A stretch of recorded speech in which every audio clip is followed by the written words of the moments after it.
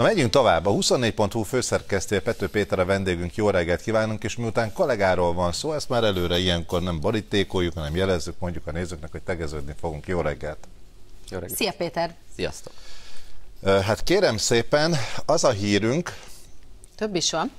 több is van, én most képzeld, de a, az Őrsi? Gergely, azzal kezdjük, aztán megyünk át az Őrsi Gergelynek a mondatára, vagy a kijelentésére, de hogy itt állítólag probléma adódott a Duna Arena bérlésével kapcsolatosan, mert hogy bérleti szerződés nélkül használta hosszú Katinka, ugye ez múlt idő, klubja a Duna Arénát. Ez most már biztos ezer ügyen vagytok túl. Igénylésem, végrehajtóval megjelenésem.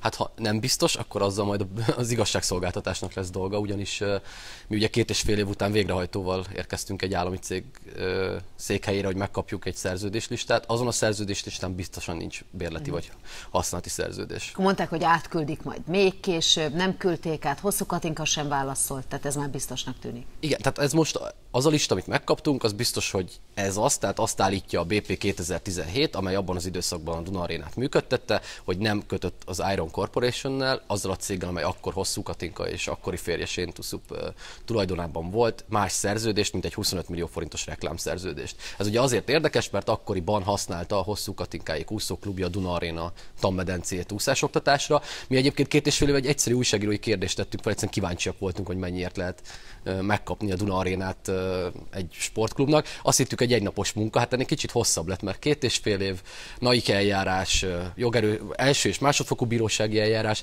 és hát ami a különlegessége volt, vagy amiatt hosszúra nyúlt, ugye ez egy olyan állami cég, amely a jogerős bírósági ítélet ellenére sem adta ki a közérdekű adatokat. Ez egy elég sajátos elképzelés, azt hiszem, a jogállamiságról.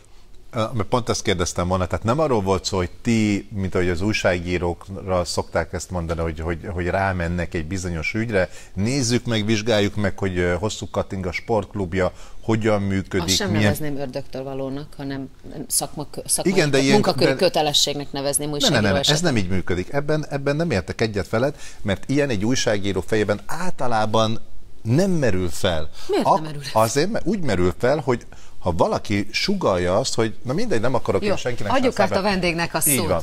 Szóval, hogy e, most elmondtad, hogy egy véletlen apropóján bukkantatok arra a nem létező szerződésre, amire aztán kíváncsiak voltatok. Én a újságíró szakmai részéről én is radikálisan más gondolok, de arról most ne vitatkozzunk valóban. Uh, igen, ez történt egyszerűen, ugye akkor kerekedett egy kis felfordulás, mert az volt az alaphír, ami megjelent, hogy Darnyi Tamás úszóklubjának uh-huh. nincs vízfelülete, miközben a Hosszú Katinka úszóklubja kapott vízfelületet, egyszerűen kíváncsiak voltunk, hogy ez egy pályázat eredménye, mennyit kellett fizetni, tehát hogy megkérdeztük, és megmondom őszintén meggyőződésem volt, hogy egy héten belül erre valaki válaszol, és akkor ki fog derülni, és mindenki tudja, hogy miért annyi, és milyen körülmények között választották. Na és akkor most mi derült ki? Ugye az egész folyamat végén, végig egészen szürreális volt ez a két és fél év. Hát sok tekintetben azért, mert két és fél évig tartott, az önmagában szürreális. Elképesztő. Ö, Ezt az ugye... ügyet te jegyezted személy szerint egyébként, mint Pető Igen. Péter? Értem. Igen, igen. Ö, és, igen. A, és ebben a folyamatban ugye a bírósági tárgyalásokon egészen különleges érvelésekkel állt elő a, a BP 2017. Volt olyan pont, ahol azzal érveltek, hogy elvesztett a közpénz jellegét lényegében a, ez a bevétel. Uh-huh. Ugye ilyet már hallottunk azért. Az idézet. utóbbi időszakban, és nagyon-nagyon változatos volt az indoklás, hogy miért nem kell kiadniuk, és mondom, a, a, a, a végső és értetetlen fordulat az volt, hogy a jogerős bírósági ítélet, amely elmondta, hogy közérdekű, akkor sem adták ki. Ezután mi kezdeményeztünk egy végrehajtói eljárást, ami szintén nem egy körös volt, mert első körben erre sem reagáltak, hanem inkább befizették a pénzbírságot, azaz további közpénzt költöttek arra, hogy ne kelljen a közérdekű adatokat kiadni. Majd mikor már megérkeztünk a helyszínre, tényleg ilyen elég vadregényes volt a finálé, mikor megérkeztünk a helyszínre, akkor ö, kaptunk meg egy listát, amelyből világos volt, hogy ilyen típusú szerződés nincs rajta. Hadd beszélgessünk veled egy másik uszodáról is. 7 milliárd forintba, több mint 7 milliárd forintba. Bocsáss, még, még valamit akartál volna Katinka uh, ügyben kérdezni? Igen, hogy akkor most me- megkapták azt, amire vágytak két és fél év után? Megkapták. Jó. És Igen. akkor most mindenki boldog. Igen. Nem hiszem, hogy mindenki boldog, mert az, hogy erre vágytunk, mi nem erre vágytunk természetesen, arra vágytunk, hogy derüljön ki az igazság. A- tehát a nem, nem ilyen személyes preferenciáink volt, hogy szeretnénk egy Excel táblát, de hogy igen, ezt szerettük volna. Az, hogy most pedig az újságírói eszközökkel eddig lehetett elmenni ebben az ügyben, tehát egyszer nincs tovább újságíróként. Az, hogy az igazságszolgáltatás vagy a hatóságok találnak-e érdekességet ebben az ügyben, az már nyilván rajtunk kívül áll. Bocsáss. Igen, a másik az a, az a második kerületi úszoda, a Gyarmati Dezső úszoda, ami több mint 7 milliárd forintba került. Szükség volt az uszodára, támogatták a környéken élők, hogy legyen uszoda, elképesztő megdöbbenéssel fogadták ennek az árát. Mit tudtok ennek az árnak az Excel táblájáról? Ugye nyilván én részletében nem ismerem a projektet, de nagyon jó párhuzamos történet szerintem azért, tehát még van egy uszoda, ugye ez egy nehezen hozzáférhető uszoda ma egy átlagembernek, ha jól értem az eddigi történeteket.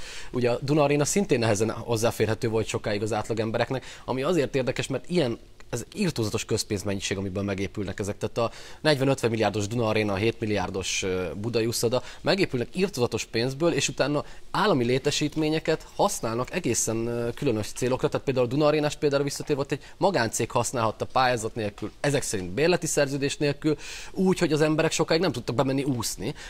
És mondom, teszem fel a kérdést, hogy miért várja az állam, hogy valaki BKV jegyet vegye, hogyha közben az államnak jogerősíteleteket nem kell végrehajtania. És akkor ezt látjuk újabb és újabb sportlétesítményeknél, hogy egészen átadhatatlan módon írtozatos költségen készülnek, és aztán nem világos, hogy a, az emberek, az átlagemberek mi hogyan profitálnak belőle, és hogyan férnek hozzá. Na, mert a Krisztina ugye, ugye már egy gyarmati féle úszadát ugye felhoztad, tulajdonképpen mindenki eldönti, hogy ez most drága vagy nem, de ha valaki szeretne ott úszni, kérem szépen, akkor úgy készüljön, hogyha megveszi a bérletet, itt a kamera, ha megveszi a bérletet, akkor 480 ezer forintot kell kifizetnie.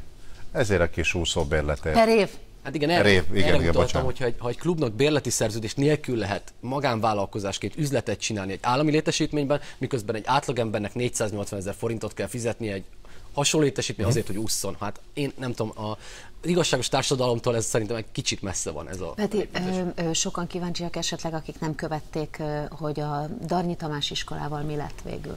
Ugye ezt, mi nem, ezt a részét mi nem követtük, tehát nyilván most működik tovább, másik, másfajta vízfelületeket használ, ez csak az apropója volt ennek a két és fél évvel ezelőtti ö, ügynek, mikor elindult. Mondom, ez csak mikor ez följött a hír, akkor lettünk kíváncsiak, hogy mi történik. Ma, most meg volt Pipa, ugye Duna Arena, mi a következő ügy?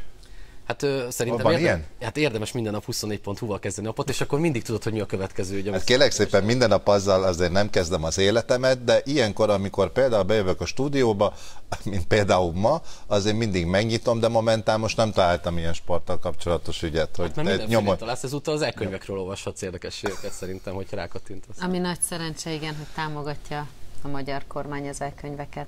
Igen, tényleg Európa szerte csökken az elkönyvek adója. A magyar kormány bünteti az olvasókat. Ez a címe ennek a cikknek. Majd holnapra szervezünk kérdésű vendéget. Köszönjük szépen. Köszönjük szépen.